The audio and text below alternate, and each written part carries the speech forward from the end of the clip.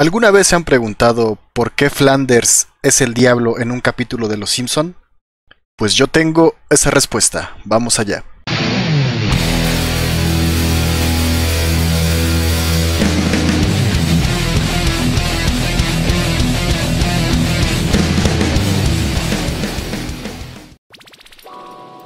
Todos hemos visto ese especial de Noche de Brujas de la temporada 4 en el que Homero decide venderle su alma al diablo llamado el Diablo y Homero Simpson. ¿Qué sucede? Homero quiere una rosquilla con todo el corazón y decide invocar al diablo diciendo, ay, vendería mi alma por una rosca. El diablo aparece y quien resulta ser Ned Flanders. Entonces Homero le dice, Flanders, tú eres el diablo. Y Flanders le dice, siempre es el que menos esperas. Pero unos años más tarde, la verdad no sé cuántos, surge la historia de por qué Ned Flanders es el diablo. ¿Quieren oírla? Venga. Antes de continuar, he de decir que no sé si esta historia pueda ser considerada como real en el universo de los Simpson, pero fue sacada del universo de los Simpson Comics, es decir, de los cómics de los Simpson. Entonces, para mí es una historia muy buena que da una muy buena respuesta a esta pregunta de por qué Ned Flanders es el diablo. Vamos entonces a continuar. Ok, el cómic del que vamos a sacar esta historia es del número 75 de los cómics de Los Simpson, un especial de terror de la casita del árbol del horror, tenía que ser porque no puede ser de otra forma y comienza de la siguiente manera. Recuerdan que en el episodio de El Diablo y Homero Simpson el señor Burns dice, ¿quién es el de las patas de cabra? Me gusta el color de su capa. Y el señor Smithers le dice, es el diablo, lo verá el jueves. Pues para acordar con eso, la historia empieza así, el señor Burns y el diablo están jugando, me parece que un jueguito de esos de, de barcos de guerra, no recuerdo muy bien el nombre en concreto, y de ahí surge que el diablo está muy cansado. Y entonces el señor Burns le ofrece ciertas opciones.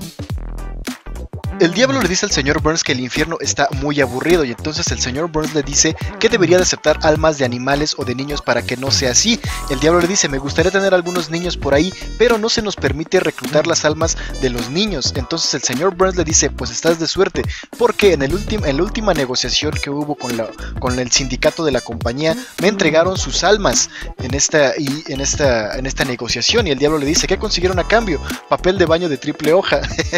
pero bueno, para el señor Burns le entrega las almas de Homero, Bar, Lisa y Maggie, toda la familia, al diablo para que él pueda hacer con ellas lo que quiera. Pero sucede algo inesperado. De inmediato el diablo manda a dos esbirros por las almas de Bart y Lisa. La de Maggie no la quería porque decía que el azufre ya olía de por sí bastante mal como para combinarlo con el olor a pañales usados. Entonces manda a estos dos demonios por las almas de Bart y Lisa. Y resulta que los esbirros cometen un error y se llevan las almas de Rod y Todd. ¿Por qué?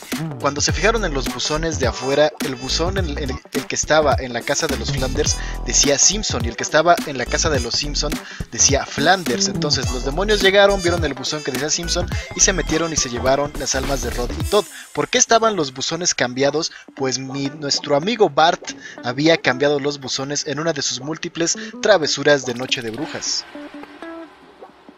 Ned Flanders, al darse cuenta de que sus hijos estaban poseídos por dos demonios y de que sus almas habían sido llevadas al infierno, va y le pide ayuda a su genial vecino Homero, no sin antes haber intentado un exorcismo al cual falló y que de hecho terminó con la cabeza de Flanders volteada sin que éste muriera al menos, por lo que se puede ver. Y entonces Homero resulta que tenía un portal al infierno en su sótano. ¿Cómo ocurrió esto? Pues resulta que una noche lluviosa Homero estaba poniéndose a arreglar un tostador o algo algo así, y de repente apareció el portal ahí. Algo así es la historia de por qué tiene el portal, pero ahí lo tienen y entonces van a ir todos juntos al infierno.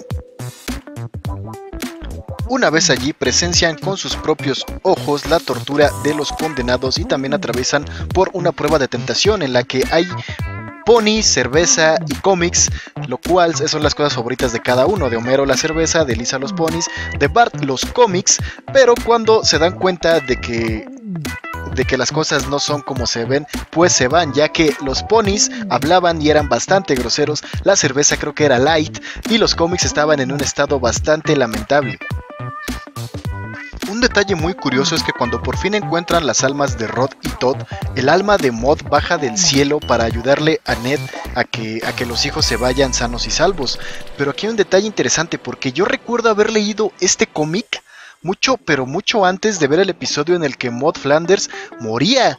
O sea, no sé, no sé si de plano habrá sido una especie de predicción por parte del cómic o si el cómic de plano salió después de ese episodio, pero por causas, por causas del destino, yo lo leí antes de ver el episodio. Quién sabe qué habrá pasado ahí. Por cierto, este Mod no, no les ayuda porque el tarado de Homero le dice, oh Ned, tuviste muchas citas, casi luego luego que tu esposa murió y Mod se enoja y se va y no les ayuda. Al no haber ayuda de Mod, nuestros amigos pierden la batalla contra los demonios y el diablo los captura. Justo cuando estaba dando como que su discurso el diablo, se dan cuenta de que estaba con una actitud de mucho cansancio. Y entonces resulta que Flanders se ofrece a cubrirlo algunos meses para que el diablo se tomara unas vacaciones. Ojo, sé que suena muy extremo, pero ¿qué no harían ustedes si las almas de sus hijos están en peligro? Recuerden ese detalle, o sea, si Ned Flanders no se ofrecía a algo así, él y las almas de sus hijos se hubieran quedado yo creo que para siempre en el infierno.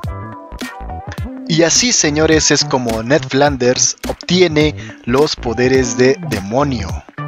Y aunque se suponía que Ned Flanders solo iba a cubrir al diablo cierta cantidad de meses al año, pues resulta que a los de arriba, no sé a quiénes se refiera, les gustó tanto el trabajo de Ned que decidieron dejarlo a cargo del infierno para siempre. Y este, señores, es el infierno que no pudimos ver en ese episodio de El Diablo y Homero Simpson en el que Ned Flanders reina. Y por si se preguntan qué sucedió con el diablo, pues resulta que encontró un nuevo trabajo.